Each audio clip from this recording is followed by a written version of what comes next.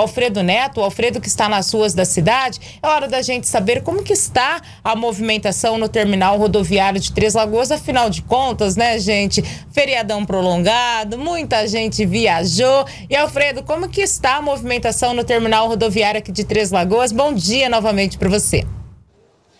Olá, bom dia novamente. Ana, tá intensa. O nosso repórter cinematográfico Max Silva vai dar aquele zoom para você, aquela passeada aqui no terminal rodoviário. Horário de pico, pessoal que está chegando.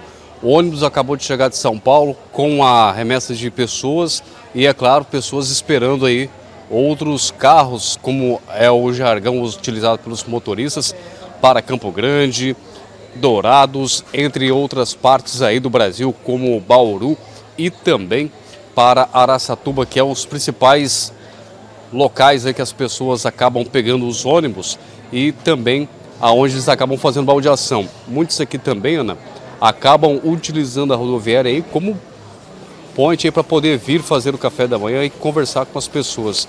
Tem muitos, muitas pessoas, é horário de rush, como é dito, os ônibus estão chegando, alguns ainda estão a caminho da rodoviária, de algumas empresas. Uma acaba de chegar, aonde desceu uma grande remessa de passageiros, e outros estão vindo para cá, aonde a maioria desses passageiros irão embarcar com destino Campo Grande, Ribas do Rio Pardo, também Araçatuba, Bauru, São Paulo e assim a, essas pessoas acabarem fazer baldeação para outros pontos, já que a maioria desses locais citados são pontos aonde são feitas baldeações para o Nordeste, para o Sudeste e Sul.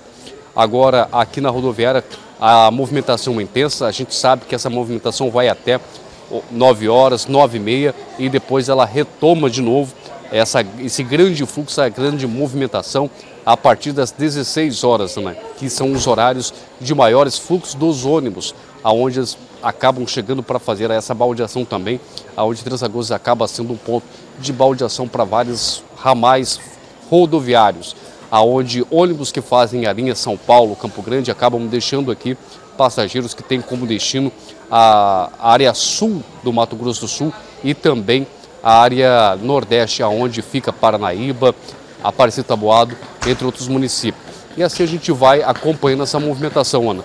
E com essa movimentação que chama aí para o começo da abertura do comércio de Três Lagoas, né, que a gente vê a retomada pós-feriado, fica aí para aqueles que estão nos acompanhando os horários de funcionamento do centro.